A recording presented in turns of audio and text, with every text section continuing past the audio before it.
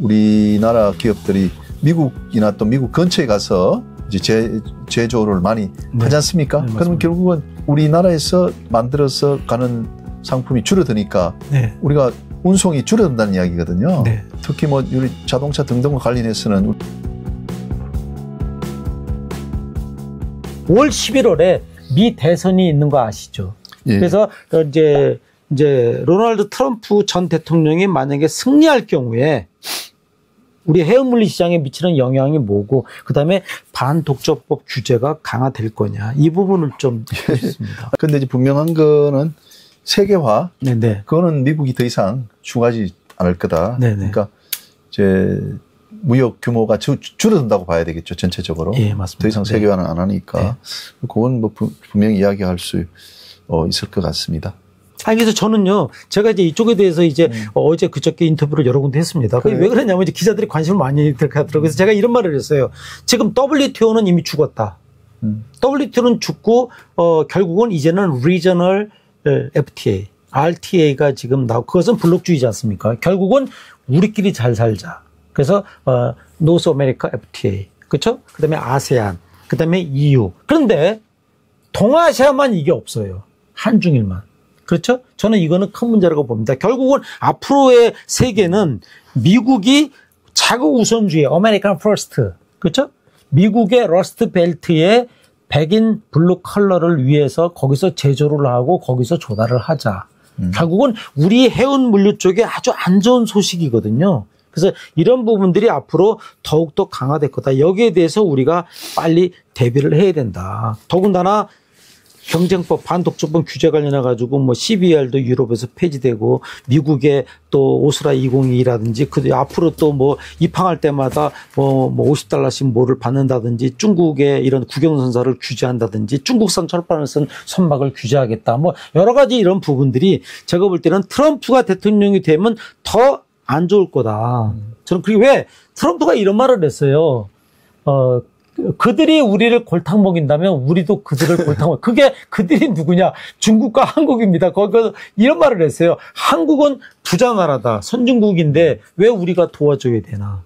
그러니까는 결국은 중국을 막겠다. 결국은 알리 테무의 중국발 전자상 거래를 이제 지금도 바이든도 막으려고 했죠. 못 막았지 않습니까? 그러면 제가 볼 때는 트럼프는 이 부분을 또 강력하게 나갈 것이고 결국은 중국이나 한국이나 대만이나 이쪽의 물동량은 어, 교수님도 그런 생각 가지시지만 어, 늘지 않고 오히려 줄 수가 있다. 결국 이거에 대해서 우리가 해운 물류 이런 산업이 조금 더 적극적으로 더 깊이 있게 검토도 하고 대응을 해야 된다 생각합니다. 예, 그래서 제가 평소에도 이제 생각하는 게 우리가 뭐 IRA 법이라든지 또 네. 미국 리쇼어링 이제 뭐 그걸 추구를 하니까 우리나라 기업들이 미국이나 또 미국 근처에 가서 이제 제, 제조를 많이 네. 하지 않습니까? 네. 그러면 결국은 우- 우리나라에서 만들어서 가는 상품이 줄어드니까 네. 우리가 운송이 줄어든다는 이야기거든요. 네. 특히 뭐 우리 자동차 등등과 관련해서는 우리가 미국한테 우리가 프리미엄 서비스 해주겠다. 네. 네, 한국에 그 제조 공장이 있어도 미국에서 제조한 거 똑같다 효과가. 네. 우리가 항상 프리미엄으로 미국을 위한 배는 항상 스탠바이 상태로 두겠다. 네. 그래서 항상 딱 매주 두 번씩 딱 가서 제자리에 딱딱 해주겠다. 주문 오면은. 네. 이제 그렇게 이제 하면서 미국의 제조 공장이 많이 안 가야 된다고 봐요.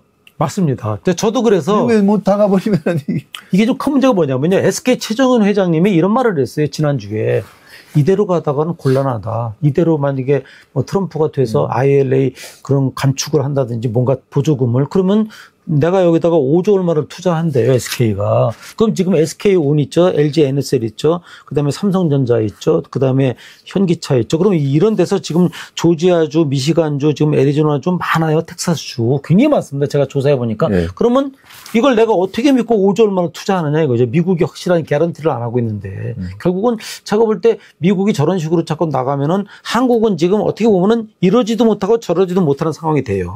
그러니까 거기 가서 제조하는 거는 관세도 회피돼 회피하고 여러 가지 이런 거를 이제 규제를 막는 거 하나인데 거기 가서 과연 그러면 또 우리 입장에서는 또 해운 불통량 자체가 그 부분이 감소가 되니까 저는 미래로 봐서는 상당히 우리나라가 앞으로 어떤 포지셔닝을 갈 거냐 이런 부분 굉장히 좀 고민이 될것 같습니다. 자, 마지막으로 교수님이 지금 오랜 세월 선장으로도 또 일하셨고 또 해기사 1급 해기사로 지금 계시고 있고요. 또 고려대학교 법학전문대학원의 교수로 이렇게 계시는데 정년 퇴직을 앞두고 계신 것 같아요. 그래서 이제 에, 그 부분이 저도 이제 굉장히 구- 저도 작년에 그 배화여대 국제무역 물류학과를 만 65세라고 그래가지고 이제 올 2월에 이제 그만뒀습니다. 그래서 지금 이제 인천대학의 동무어물류대학원에 이제 외래 교수로 있는데 제가 궁금하는데 방학이신데 어떻게 지금 시간을 보내고 계신지 궁금합니다. 이제 6월 말에 이제 마지막 수업을 했습니다. 네.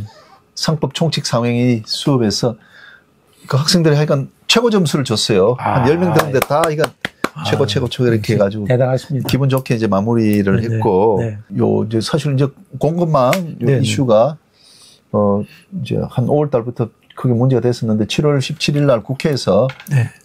해상 공급망 네, 네. 그 불안정 어 우리 해소 방안에 대한 뭐 세미나를 크게 했었는데 뭐 많은 사람들이 오셔서 그걸 잘 된 것 같습니다. 아, 네. 그리고 또 제가 좀 오랫동안 해왔던 선박 근조 금융법 이라는 게 있습니다. 아, 예, 네, 그 네. 책도 네. 여기 있는데 아, 굉장히 이거는 예, 요- 전문 분야인데요. 예, 요, 요 연구 아, 가한 지금 53회 아, 이건 진짜 있었습니다. 그래서 진짜 깊이 있는 분야인데요. 한 11년, 1년에 4번씩 했으니까요. 한 11년을 했습니다. 그래서 이제 제가 이제 정년퇴직하니까 또 이게 또 모임이 잘 안 될 수 있어서 이것도 이제 사단법인을 하려고 네. 지난번에 이제 발기인 대회를 했고 그 다음에 바다 공부 모임이라고 있습니다. 네, 네. 그한 980명 들어와 있는데 2020년 9월 달부터 네. 우리가 팬데믹 때 이제 시작을 했었거든요. 이번에 162강 마쳤는데 그 모임도 이제 좀 창립 총회를 열어 가지고 좀 사단법인화해서 좀더 아, 조직적으로 네, 네. 여러 사람이 이제 주인 의식을 갖고 할 수 있도록 그렇게 해서 어 제가 이제 정년 퇴직하면서 뭐랄까 조금 처리해야 될 부분들을 네, 네. 좀 급한 이제 많이 또 했습니다. 그리고 또 중요한 것은 이제 우리가 뭐 교수들이 자기가 그동안 뭐 한, 한 20년, 30년 해오던 것이 또, 어, 후임, 후배 교수들한테 이게 연결이 잘 돼야 아, 되거든요. 그렇죠. 중요하죠. 해상법은 분야가 작아가지고, 어, 어떻게 되나 많이들 또 걱정을 했습니다. 네. 변호사 시험에 이 해상법이 안 나오다 보니까 네. 뭐 연세대학교, 뭐 서울대학, 뭐 외국어대학 이런 데는 전부 다 해상법 교수 후임이 없습니다. 그래서 다 없어져 버렸는데 네. 우리 고려대학만 서울에 남아 있는데 이제 지난번 우리 고대 교수 회의에서 다행스럽게도 교수님들이 또 해상법 교수를 뽑아주자 고대에서 네. 우리 뭐 고대가 좀 독보적인 위치를 차지하고 있고 또 뭐 김인영 교수 또 업계하고 연결도 잘 되고 하니까 해상법이 전통이 이어지도록 하자고 결의를 했습니다. 그래서 저로서 아, 네. 뭐 고대가 너무 고맙고 우리 업계로서도 뭐 안도하고 또 기뻐하는 것 같습니다. 그래서 이제 해상법 이제 후임 교수가 장차 뽑힌다는 그 결정을 받은 게 최근에 가장 기쁜 일이라고 또 생각되고 저 같은 경우는 이제 명예 교수로 또 초대가 됐습니다. 아, 네. 한 아, 20년 이상 있어야 축하드립니다. 되는데 아, 그래서 어, 이틀 전에 네네. 우리 저 본부에서 김인영 교수를 명예 교수로 승인한다.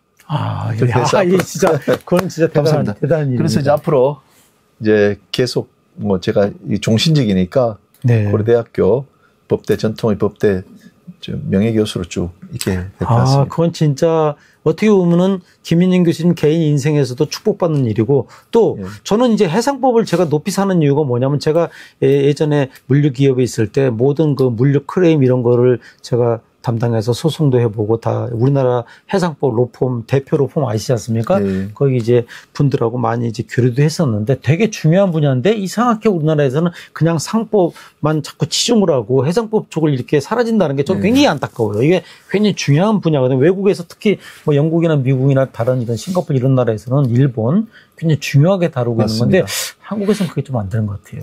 그래서 이제 싱가포르 같은 경우는 해상 변호사가 300명입니다. 아, 우리나라는 한 40명이거든요.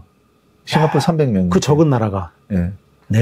그러니까 우리가 너무 적은 거죠. 그리고 우리는 이런 이제 해상과 관련된 법률 문제는 자꾸 이 외국에 영국이나 싱가포르나 홍콩에 자꾸 이제 의존을 하는 그 상사 중재가 그렇지 않습니까? 중재가 다 우리나라에서 안 하고 자꾸 네, 그- 연구요. 예 네, 맞습니다. 그러다 보니까 우리가 해상 변호사 수가 적거든요. 그래서 네. 제가 고려대학에 와서도 우리 경쟁력이 있는 이제 해상 변호사를 키우려고 노력을 했고 이제 고대에서 어, 해상 변호사 된 학생 수가 15명입니다. 네. 꽤 많이 이제 배출이 됐는데 아, 네.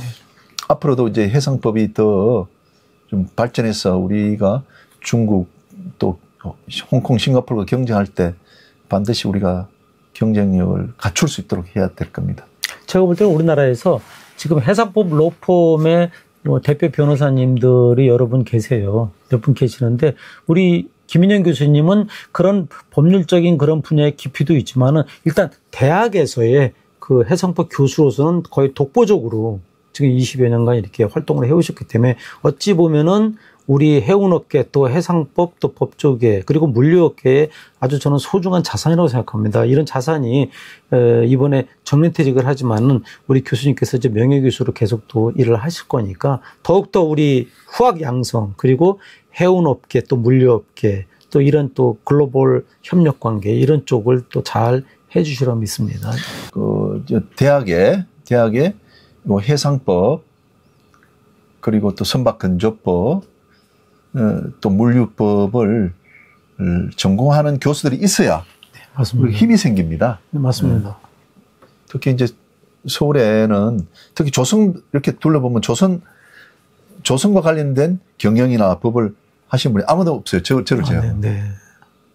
그러다 보니까 이게 약한 거죠. 아, 산업 구면은 큰데. 예, 백업을 해줘야 되는데 네, 맞습니다. 우리가 이제 교- 교수들은 큰 특질이 있습니다.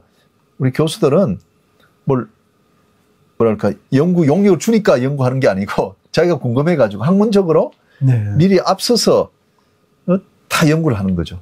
그래서 연구해 둔 것이 나중에 산업께서 필요하면 바로 나가서 네. 아, 네. 쓸수 있다는 점에서 좀 교수의 존재는 굉장히 큰 것이거든요. 만약에 우리가 뭐 해운이나 조선 분야에 이런 사회과학 쪽의 교수가 없다면은 굉장히 큰 비용이 들게 될 겁니다. 우리가 한진해운 사태 났을 때 그 한진해운 선주들하고 저 내고를 했지 않습니까? 용선역 강론 내고 할 때 네. 미국 변호사들 이제 채용해가지고 그 해서 그 이제 나갔지 않습니까? 그러다가 아, 뭐 네. 좋은 결과가 없었죠.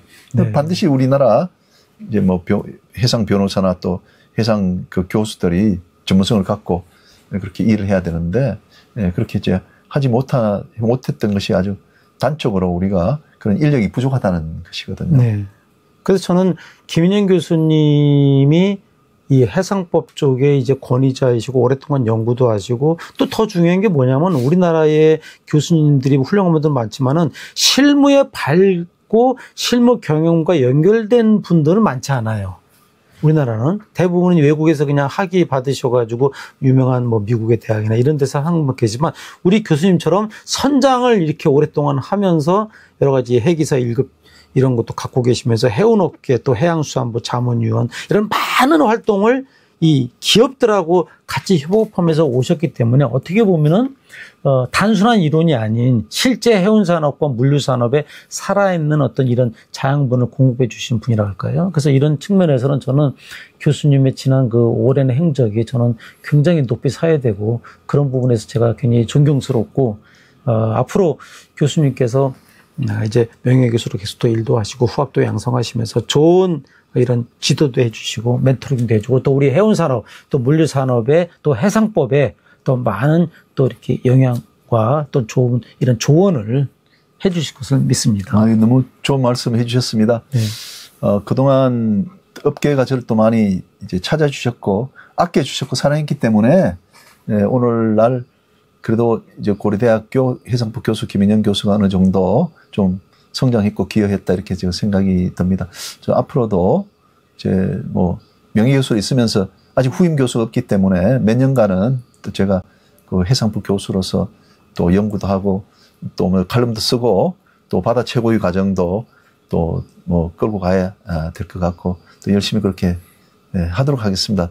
오늘 차에서 너무 저 고맙습니다. 우리 로지 브릿지 아, 예, 네. 예, 크게 앞으로 어, 저 번창하기 예, 바라고요.